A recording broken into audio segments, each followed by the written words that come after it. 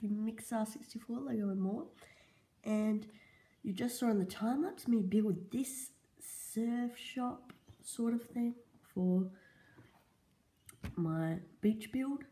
So it's basically this set, the surf shop that I've used, but you can see it's just a bit different. Yeah, just a little bit, not too much, but yeah, it's a bit different. So I've done that. Alright, so I also am in the process of building that. Built this shower, which again is basically that build there, but yeah, pretty much I've changed one or two pieces, uh, but that works, fits minifigure under, and it's a bit higher, whereas, so yeah, I replaced this one, and that one was quite a bit lower, so good design, and then also built this um, seal on the rock.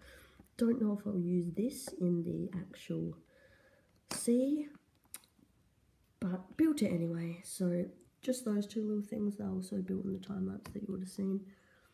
But yeah, there's not much else to say about this. Pretty much built that, done, nice and easy. Um, in the next video, I'll actually be focusing on water, and I've actually already done a bit on the water. That's why I'm not showing you the water, guys. Uh, I'm to give you a sneak peek. There you go, guys. Just nice and quick. It's super exciting, the water. I love how it's looking. Um, yeah, so we'll get into that in the next video, but really just did this surf shop. So you can see some of the stuff in there. It's pretty simple though, this surf shop.